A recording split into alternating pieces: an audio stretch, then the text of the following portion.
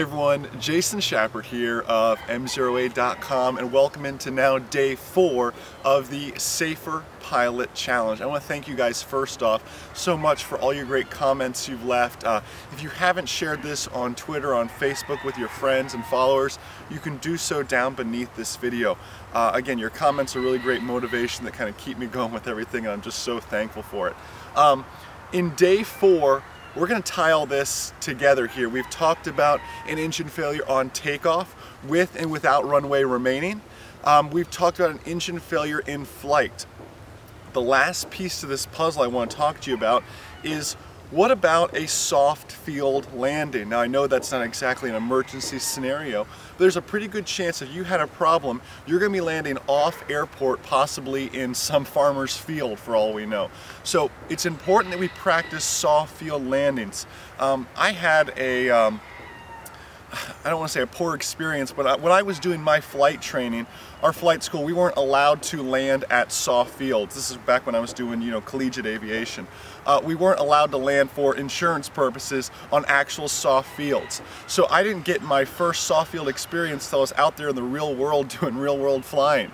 Um, it's super important you ask your instructor if you can get out there and practice soft field landings. Really go out to that, uh, that airstrip that has that grass field for you and practice that. So um, I'm done rambling. Let's go ahead and cut to the video or I can give you some great tips on how to successfully make a soft field landing and most importantly protect that airplane.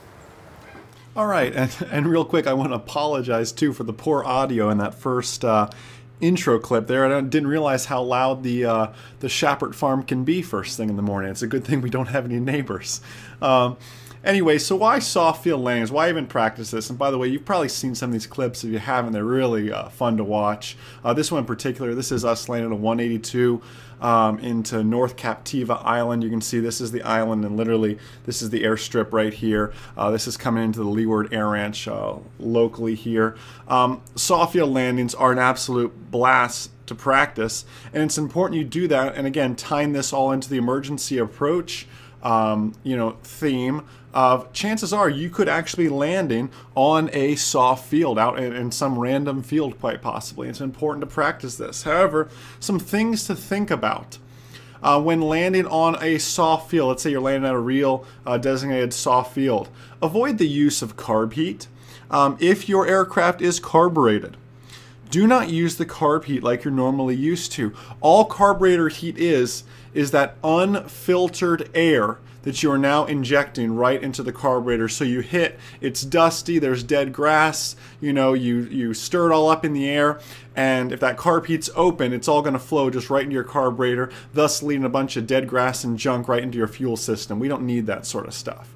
Um, Avoid braking if you're able when landing at these soft fields. You're going to realize as soon as you put those wheels down, you're going to have no problem slowing down. It's a lot different than rolling out on pavement. I mean, and you really feel it uh, when you hit just how quickly it slows you down. The reason I say that though is you want to protect that nose wheel, full back on that yoke and protect that nose wheel. When you start applying those brakes, you risk putting a little bit of that pressure forward and you could catch that nose, uh, that nose wheel possibly in a pothole. You want to be full back on that yoke and let that uh, airplane just roll itself on out if you're able to, if you've got the distance to do it. If not, you know, I understand you got to slow that airplane down. Also, call ahead to check the length of the grass. It sounds really silly, but you could call someone maybe who lives out there or someone who's in charge of mowing it. I can't tell you how many times I've landed at airports and just wished I called ahead because I ended up touching down in, you know, what was practically a jungle. And when you're up in the air, even when you're on short final, you just can't tell um, you know, before you put those wheels down. I've lost more paint off my propeller uh, from landing, you know, in tall grass than I than I care to admit. Um, the airplane right now, actually, the prop is sanded down to just bare aluminum because we do so much, you know, soft field practice that we just can't keep paint on the thing. Um, so call and check the length of the grass ahead of time. The main thing is I want you to protect that nose wheel, protect that airplane. Um, you know, pressure back on that yoke. Um, same thing on takeoff, you know, get that airplane rolling, let it take off and push it down into ground effect first. Um, you want to protect that nose wheel at all times. This is something to practice this with someone. Um, soft field landings, again, are an absolute blast, but they need to be practiced. Again, I fell into the trap of my flight school just told me, no, we can't let you land on a soft field, just not approved. Insurance says so.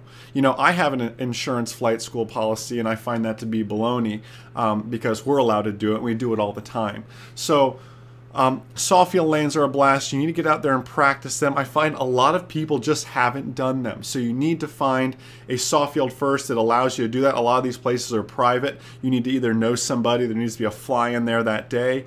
Um, uh, there's so many great fly-ins in these little uh, general aviation communities too. You really need to, you know, get up the guts to uh, go out there and practice this sort of stuff so you can participate in those sort of events. So, if you have a chance in the near future, someone offers you a, uh, a takeoff or landing at a soft field, 100% take it.